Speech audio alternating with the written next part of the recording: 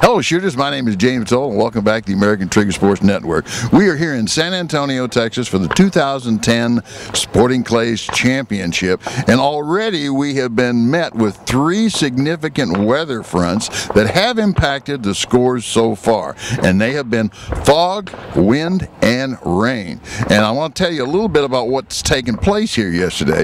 Yesterday morning, on the first rotation of FITASC, it's difficult on a good day, much less a day when the visibility is so poor that you cannot see the fast moving targets that they had waiting for them that morning. So where the normal frustrations would occur on FITASC field, it rose to anger and disappointment in many cases.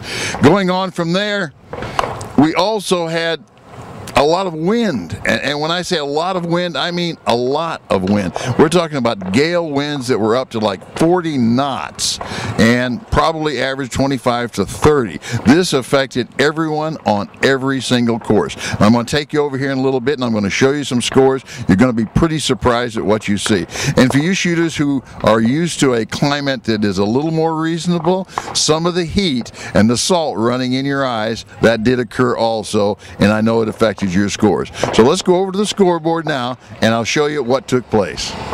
Okay, shooters, we're over here. I'm looking at the main event. We're looking at the master class shooters. Now, when Anthony Matarese Jr. shoots a 72 on the yellow course, you know that there was a lot that had a lot of influence on the way he was shooting, and that was due to the wind. Brandon Powell came in with a 72 after him. Bobby Fowler came in with a 71. John Kruger came in with a 71. Mike Wilgus with a 71.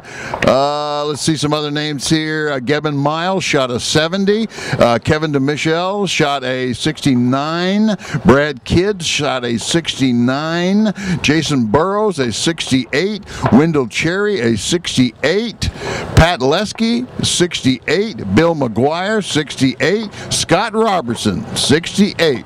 And Gary Greenway came in with a 67. And that was the yellow course yesterday. So we're going to move down a little bit here. I'm going to tell you what took place on the, let's go to the next class, double, uh, double A class. So right now is being led by Kerry Skaggs, who shot a 72.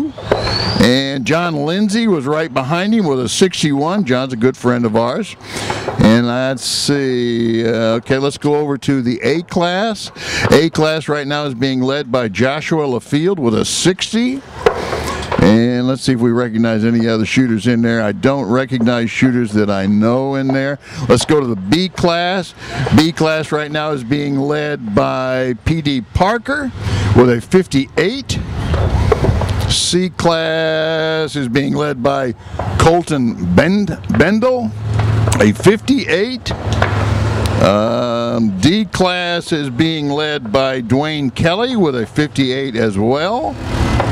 E class is being led by David Botkin uh, with a score of 30. So we're going to move around here and I'm going to find the FITASC score for you, which is on the other side, of course. We'll be right back. Okay, shooters, we're here at the five stand results. And the five stand re results right now are probably pretty exciting news here for you. Pat Lesky with a 94. Andy Duffy with a 91. Anthony Matarese Jr. with a 91. Todd Simmons with a 91. Dan Carlisle with a 90. Zach Kienbaum with a 90. Joseph Carey with an 89. As I go down that list, there's a lot of names in there that are pretty. They did shoot during that windy, windy day. As a matter of fact, Wendell Cherry came in with an 83. Brad Kidd came in with an 81. Now let's find the FITASC scores for you.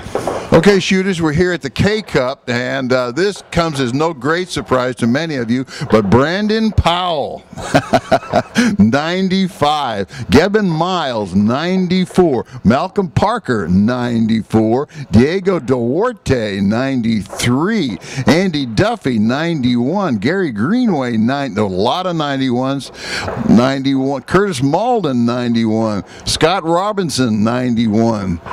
Curtis Lessel was a 90. Uh, Joey Bolton in 89. Uh, Wendell Cherry in 89. There was a lot of 89 scores in here by people you know. Um, Tony Rivera, 89, and his brother Art Rivera also shot in 89. Okay, we're still looking for FITASC. Let's go find them. Okay.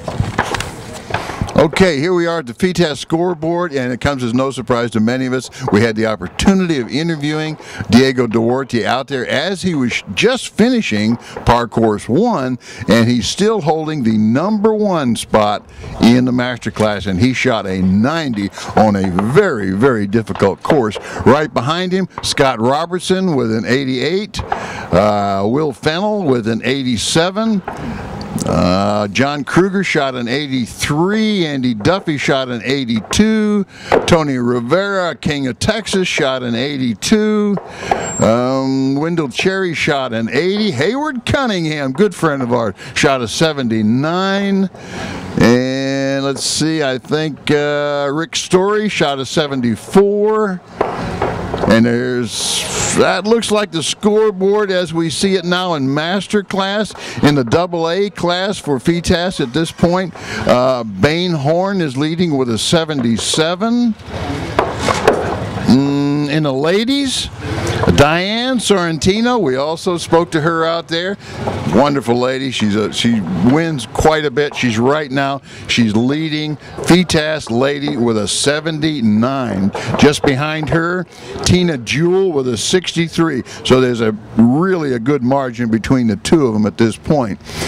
If we look up here at the juniors, Abel Spire, and you'll see many pictures of him throughout the show. Abel, Abel Spire is leading the juniors with an 84.